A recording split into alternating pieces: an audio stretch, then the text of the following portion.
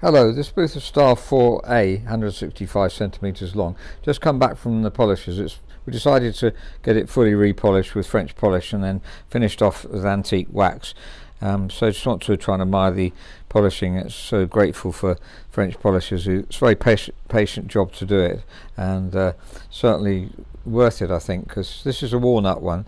You can see there's always um, a mirroring in walnut. If you see, there's a kind of like um, the line there which shows you veneer that side and this side and mirroring to get a, a, beautiful pattern and on the top of the fall too. I did show this before it was repolished and we showed uh, some of the defects that we just couldn't disguise enough and did feel that the piano was worth it because the Style 4A is such a beautiful instrument tone wise and uh, with, it was in the queue to polish so we decided to do it.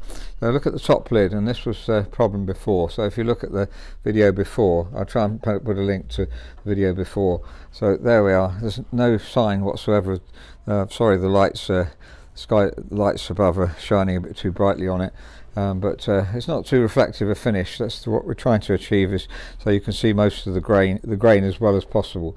Um, so there. There to be a patch in the middle of lid. So you look back on the previous video. So um, we have done a video about all the work on the piano as well. So um, I'll just briefly refer to some of that, and because it's all finished now, it's all, completely ready to go. Um, so if you're interested in the piano, we can thoroughly recommend Bluthner Style 4A. is one of our favourite baby grands. So I did show this before, just been looking at it again to see if there's anything, just evening out some of the key dip. We've redone the key dip because it was a bit shallow and we preferred it a bit, a bit, a bit deeper as it gives a better touch control.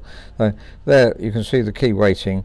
We, we have lubricated, we said lubricated balance rail and uh, it has brought it down slightly but I think we just want to, want to even that out a bit more before we deliver the piano.